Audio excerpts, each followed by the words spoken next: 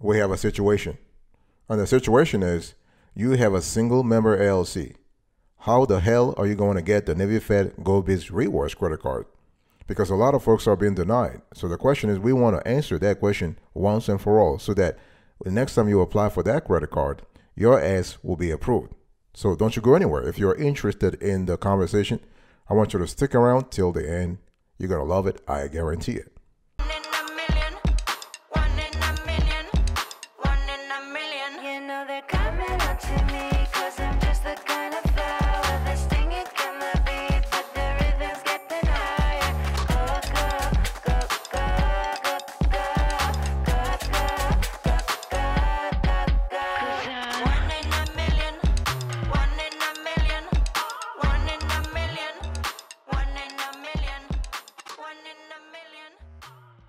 Welcome back, folks, to another edition of the Awesome S'witty Kiwi Show. How are you today? I hope you are doing fantastic. I'm doing marvelous if you were to ask me. If you are doing as great as I am, go grab a cup of coffee or tea or vodka and let's roll. In today's conversation, we have a single proposition, very simple one. You are a single member LLC and you trying to get the Navy Federal Go Biz Rewards credit card.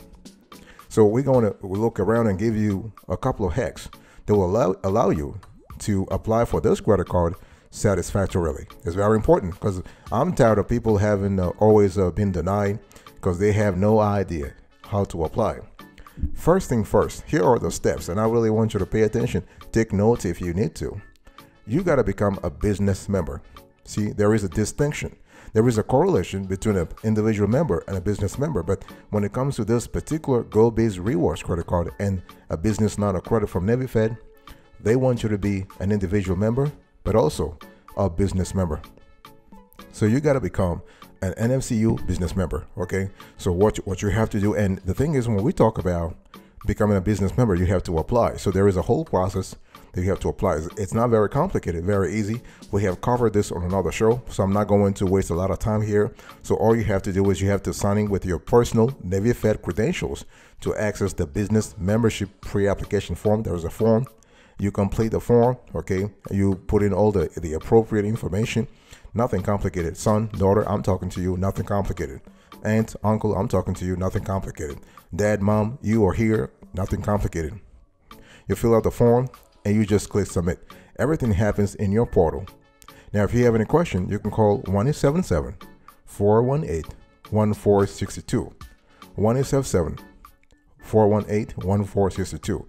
So they'll get back to you within two to three business days. They are really fast. In the last few days, in the last few months rather, they have been getting back to folks like, you know, 48 hours. Yesterday, our team actually uh, applied for a lot of business clients of ours, and they got their their application uh, applications approved the same day. So it's all about the workload. It's all about the um, the level of uh, busyness that they have at the at the NFCU, a branch where you apply at but nothing complicated. Okay, so log into your Navy Fed individual dashboard, fill out the form for the business membership, and you have to click submit. And anything they ask you, they will ask you for a lot of things. And I will talk about those documents later on in this show, but nothing complicated.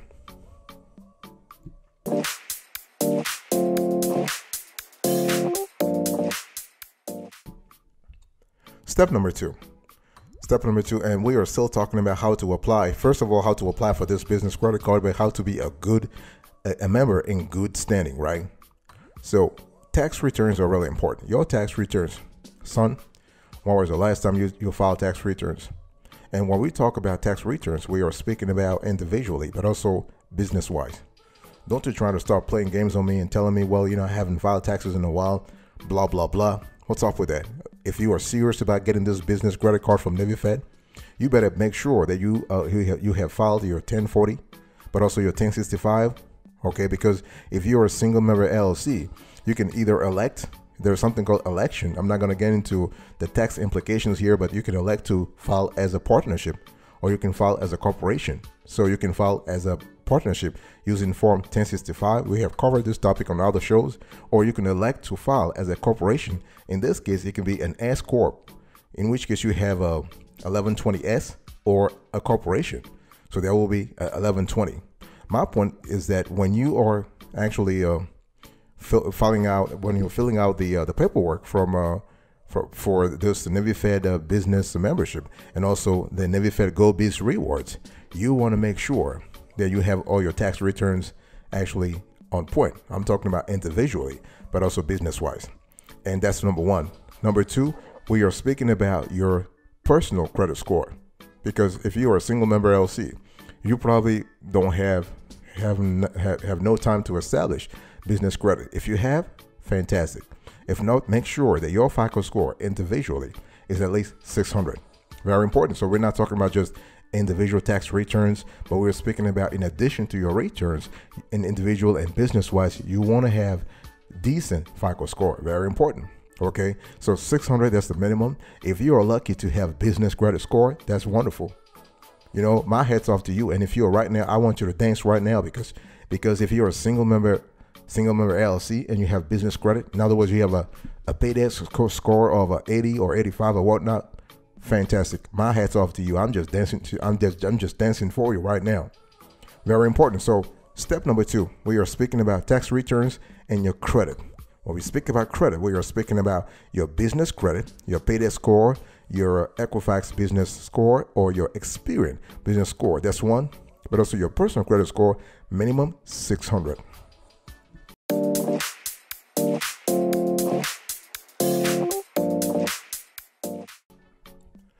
The third thing I want you to do right now, if you are listening to me, hey, hey, hey, I want you to listen to me.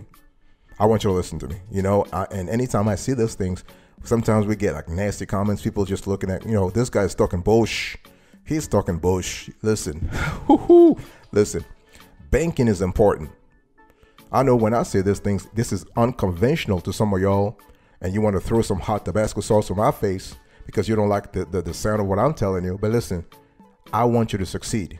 I want you to get the Navy Fed Go Biz Rewards credit card if you're a single member LLC. I want you to, to walk your ass off to the nearest branch and, and proudly receive your 25,000 Navy Fed Go Biz Rewards card. That's what I care about.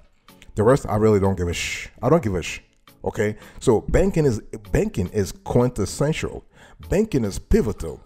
You're thinking about I'm just gonna apply. I'm just gonna apply for a credit card. I don't need to have a banking relationship. You sure do. You sure do. Okay, are you listening? Hey, hey, hey! I'm talking to you. Why are you walking away? Why? Listen, Ooh, boy, boy, boy. We are having a conversation about the Go Biz rewards, which is important for you. You are a single member LLC. You are the one working around the neighborhood telling everybody, hey, I have a single member, I have a, an, an LLC, I'm a boss. And I'm just showing you clearly the steps you need to follow to get the, the Navy Fed Go Biz rewards credit card, and you're just walking away. What's up with that? Grandpa, please tell, tell, long story short, banking is important. Banking, when we talk about banking, we are speaking about having at least business checking and or savings with, with Navy Fed. See, I'm not, when we talk about banking, it's not about having many loans and credit cards and whatnot. No, we are speaking about deposit accounts. We are speaking about asset accounts. So you want to have a Navy Fed business checking account. You want to have, and when it comes to business checking, they have uh, three types of business checking. They have business checking, business plus checking, and business premium checking. Now it's all about the size of your wallet. You know, if you're if you're just chilling right now, financially speaking, you want to go for the premium checking account. But if you're just scraping by right now, you, things are kind of tight, and you know, trying to if things are really hard for you, I want you to go for the business checking. But you gotta have a relationship at, at the at the business level. You want to have a business savings account too, because you never know. Things, you know, this world is complicated. You never know. So think about getting a, a money market savings account, a jumbo money market money market savings account, or a jumbo MMSA MMSA premium. But it's all about the size of your wallet again. So son, daughter, mom, dad, grandpa, grandma, I, I'm just talking to the whole family here. I want you to bring this shipment to the shore. I want you to finalize this thing. If you want to get the Navy Fed Go Biz rewards, you want to establish a positive, conducive relationship with Navy Fed at the individual level, but also at the business level.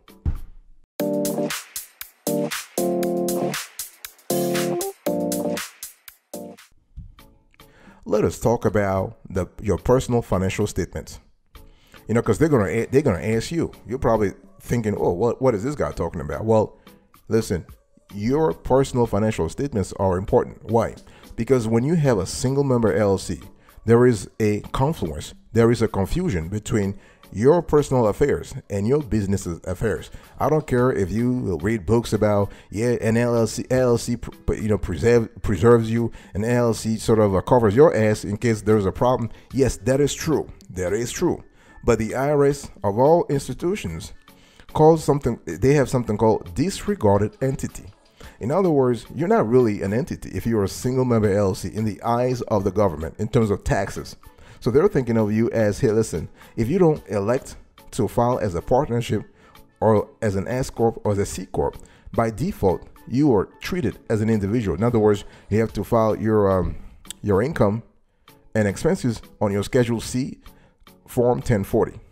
What I'm trying to say here is that Navy Fed adopts the same strategy. They are thinking the same, they have the same philosophy, looking at your ass and saying, hey, listen, this person, they may have a business, whatever, you know, whatever, but we want to check their personal financial history, their personal financial stability. That's why they're asking you to provide your personal financial statement. So when we talk about financial statements, we're speaking about what? At the personal level. I'm speaking about your assets. Son, do you have assets? Or are you currently broke? Don't be shy. Are you broke? No? Yeah? Hmm, okay. Your assets constitutes whatever you own. Okay, I'm talking about account balances, savings, certificates, money market accounts, investment balances, stocks, ETFs, mutual funds, bonds, annuities, whatever, retirement accounts, 401k IRAs, real estate, valuable personal properties. I'm talking about vehicles, boats, jewelry, and have you, and what have you. So it's important to understand that your liabilities constitute the other side of the equation, the balance sheet equation. You have credit cards, student loans, unpaid medical bills, or unpaid taxes. Now, there is a strong correlation a strong, a very strong correlation between your assets and your liabilities. That's your net worth. The correlation, the common denominator of those two elements is your net worth because your net worth is equals your total assets minus your total liabilities. Now, why does Navy Fed of all institutions care care what do, does they care about what do they care about your net worth? Because if they're giving you a credit card, they want to make sure you will be you will have the the monetary capacity to repay whatever you charge on the card. Simple as that. Okay? So don't get mad, get smart.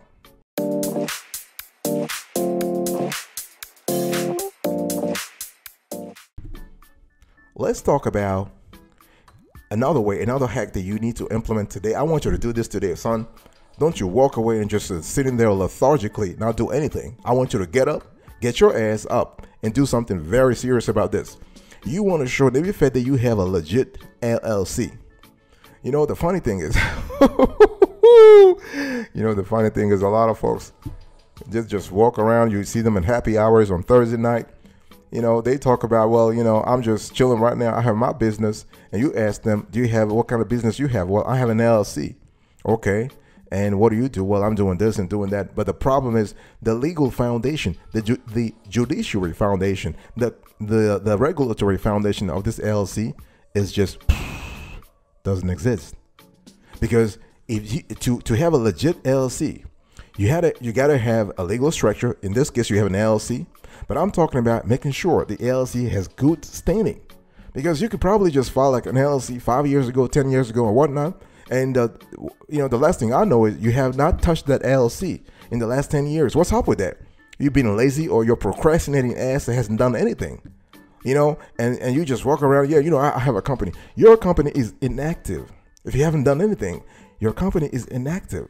So so to to resuscitate that company, you need to have something called a registered agent. You need to comply with state and federal laws. You need to file tax returns. You need to have a, a certificate of good standing. And, and Navy Fed is going to ask your ass to provide that. Okay, they're going to ask you. So you got to have uh, licenses and permits, articles of incorporation, in this case, it is articles of, of an organization because incorporation is for S corp and C corp, but for LLC, it's articles of, of organization.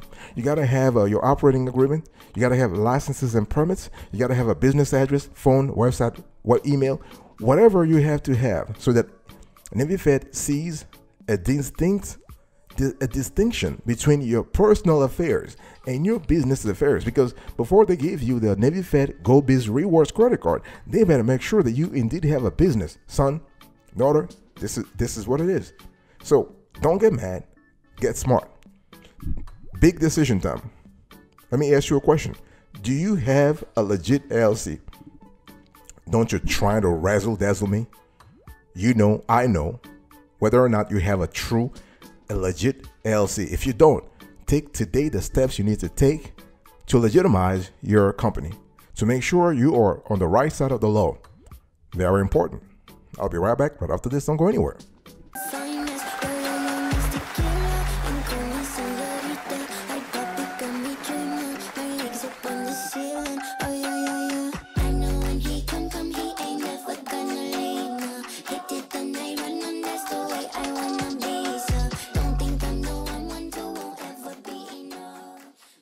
Welcome back, folks, to another uh, edition of the Awesome S'witty Kiwi Show. We are still having a conversation today about the Navy Federal Go Biz Rewards credit card and how to get it. And I was just talking to you about all the hacks that you are you really need to implement today. If you are trying to get the card and especially the high limits, because people talk about well, twenty five thousand dollars is the limit. It's not the limit. We got business clients who have one hundred thousand dollars in terms of this this uh, business credit card limits. You know, the funny thing is, some people they believe that their their unique situation can be generalized. You know, like if you have a tiny ass credit limit, you think everybody else has, has to have that limit because you, you're not even thinking that this is because of your situation.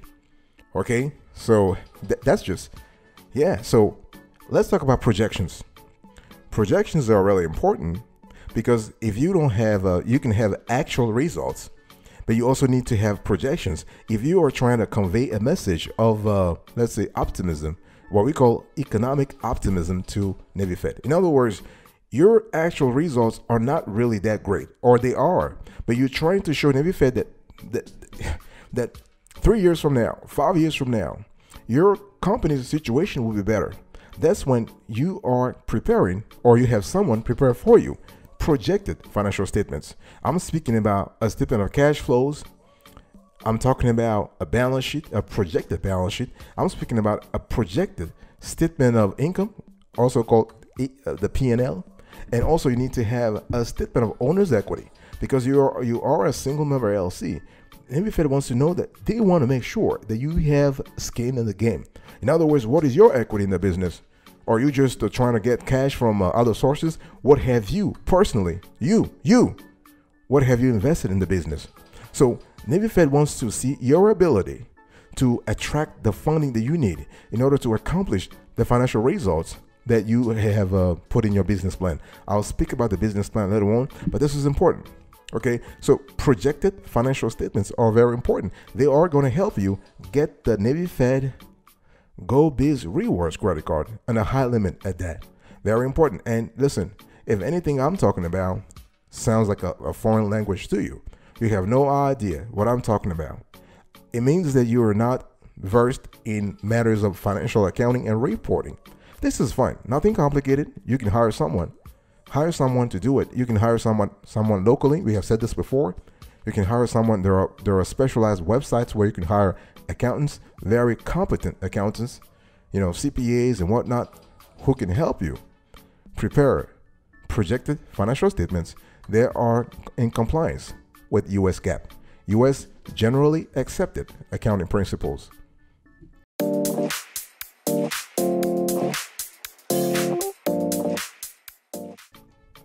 Let's talk about the, let's talk about the last thing you can do if you are trying to get a, a high limit Navy Fed Go Biz Rewards credit card, and if you are a single member LLC, you got to have a business plan.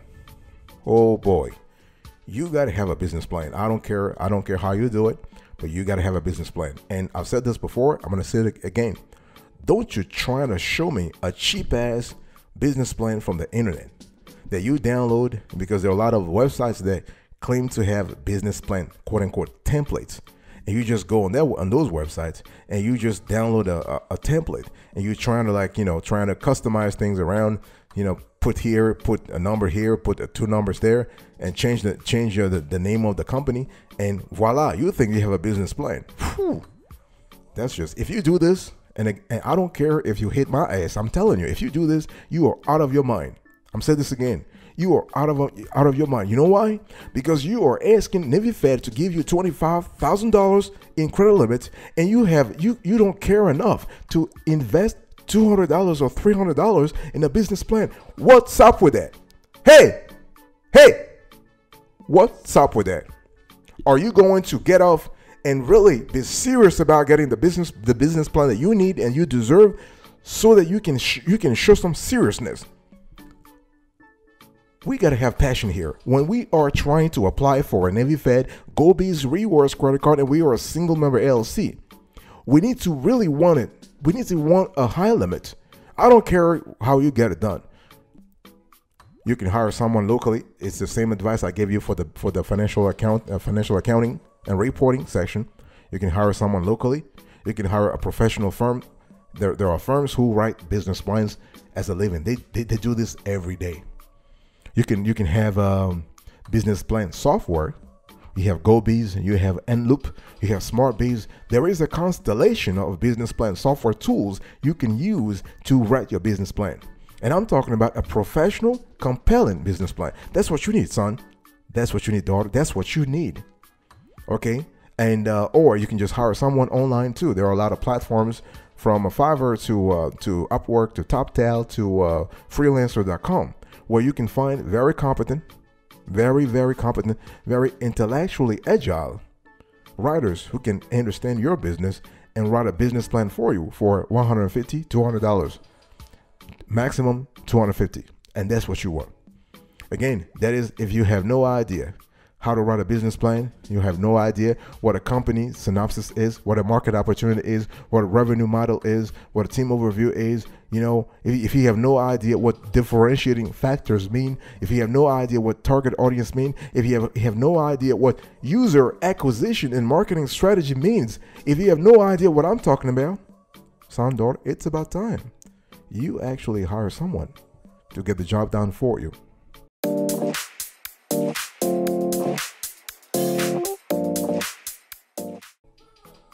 Thank you so much for your attention. I really appreciate it. In today's conversation, we were talking about the hacks, some of the the latest hacks you need to apply. If you are trying to get the Navy Fed GoBiz Rewards credit card, you want to get a high limit at that, and you are you happen to have to be a single member LLC. So think about business membership tax returns. Think about banking. Think about your credit. Credit credit at the personal level, but also at the business level. Think about your personal financial statements. Think about your LLC. Make sure your LLC is legit. I beg you. I beg you. Make sure it is legit.